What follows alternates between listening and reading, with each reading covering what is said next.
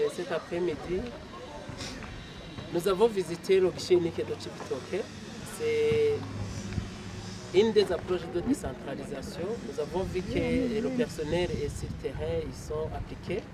Et il y a quelques défis qu'on va pouvoir partager avec notre collègue eh, du ministère de l'Intérieur et de la Sécurité, mais aussi qu'on va partager avec eh, le partenaire, le PNID, qui a appuyé le gouvernement dans cette installation unique de. Mais sinon, on a vu que eh, beaucoup de services sont offerts ici et au niveau provincial. Et actuellement, nous avons plus de 10 provinces, bientôt 12, qui ont des guichets uniques installés dans les provinces, ce qui favorise eh, l'octroi des services à la population facilement et aussi ça permet à la population de pouvoir continuer à vaquer aux, activités de développement, que ce soit les fonctionnaires, les, les travailleurs, mais aussi la population en général.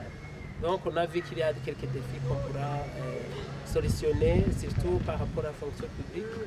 On, devra effectivement emprunter la voie qui a été utilisée au niveau de la PAF pour pouvoir informatiser les services de la fonction publique au niveau provincial pour que l'envoi du courrier soit facilité, mais aussi c'est de la même façon au niveau central, on devra chercher les moyens et approcher les partenaires, que ce soit le gouvernement et les autres, pour pouvoir informatiser la fonction publique, les dossiers au niveau central et ça permettra à ce que la décentralisation soit une réalité. Par rapport à la législation du travail, il y a des textes réglementaires qui ne sont pas, je dirais, disséminés, diffusés au niveau décentralisé. Nous avons à, à cœur cette question.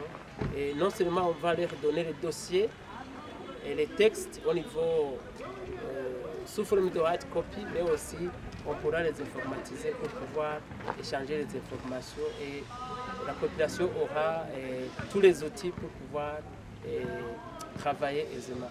Et on remercie sincèrement l'administration de Chibitoke parce qu'ils travaillent ensemble, en synergie.